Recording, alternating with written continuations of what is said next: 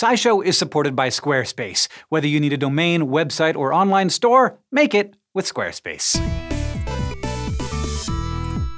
It's one of those fundamental rules of the universe that we all eventually learn growing up. Like, life isn't fair, Picard was a better starship captain than Kirk, and bigger isn't always better. Sometimes, though, there are things in nature so huge or complex that the only way to really study them is to build something enormous. Like, physicists didn't just find the Higgs boson by fishing it out from under the couch, it took the world's largest machine, the Large Hadron Collider, to observe it. But when it comes to outright size, there are a few scientific experiments that can even give the Large Hadron Collider a run for its money. Take the Northeast Pacific Time Series Undersea Networked Experiments, or Neptune, which is a really big name for a really big network of scientific equipment off the coast of British Columbia. You may have noticed that the ocean is gigantic. I mean, seriously. About 71% of the Earth's surface is covered in water, and despite all the seafaring we've done as a species, there's still a ton we don't know about what's going on deep under the surface. Enter Neptune. It's made up of an 800 kilometer loop of fiber optic cable that ranges from just 23 meters deep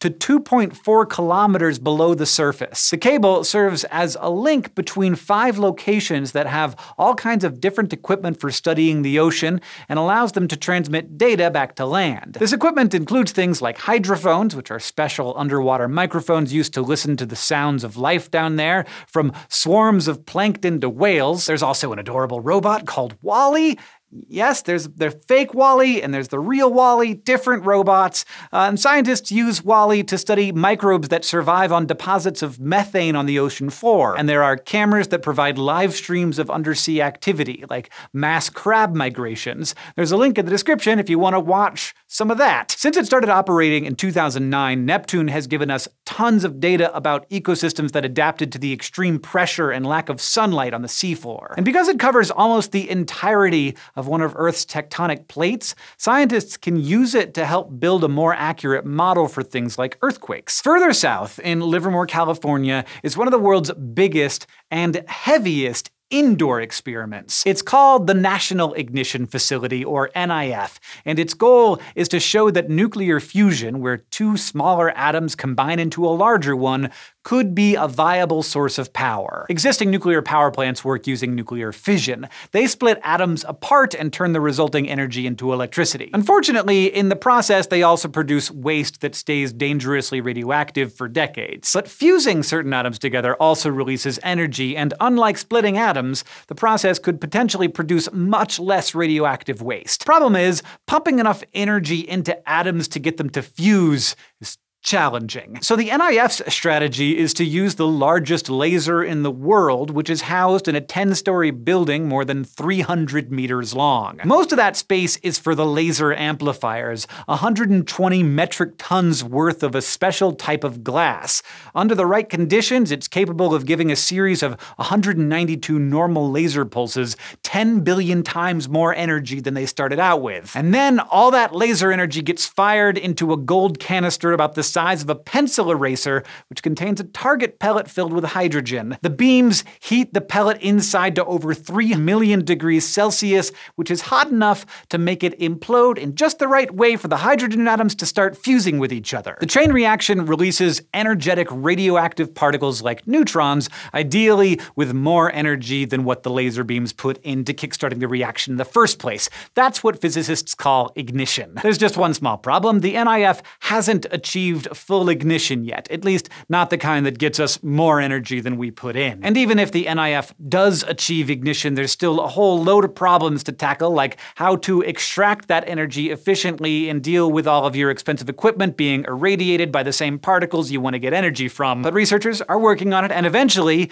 that giant building full of glass could lead to power plants that use nuclear fusion. So Neptune and the NIF are plenty big in their own ways, but neither of them qualify as the biggest biggest experiment humanity's working on. That award goes to the Laser Interferometer Space Antenna, or LISA. It's a proposal to use three small spacecraft arranged about 1.6 million kilometers away from each other in space, four times the distance from the Earth to the Moon. The spacecraft would shoot laser beams back and forth to measure gravitational waves, ripples in the fabric of spacetime generated when massive objects like black holes accelerate, when they're merging, for example. In 2016, researchers detected gravitational waves for the first time using LIGO, a similar but much smaller experiment set up here on Earth. The waves came from two relatively small black holes suddenly merging. The whole thing took less than a second, and detecting them involved measuring a change in distance of only one ten thousandth the width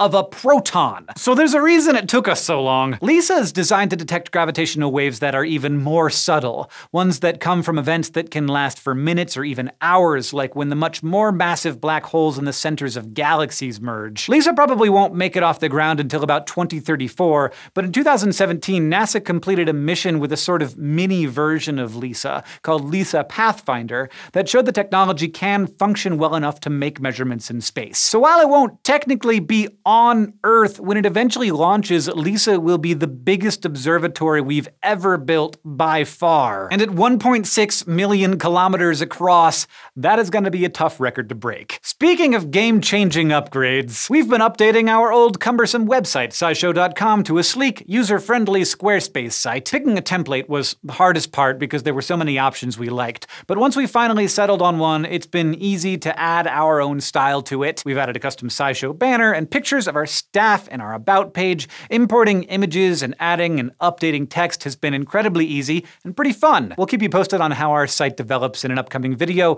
where we add pages for each of the SciShow channels. And if you got a million dollar idea, or even like a $1,000 idea you've been meaning to launch, now's the time. Use Squarespace to bring it to life and go to squarespace.com slash scishow for a free trial. Make sure to use the offer code to support this channel and save 10% off your first purchase of a website or domain.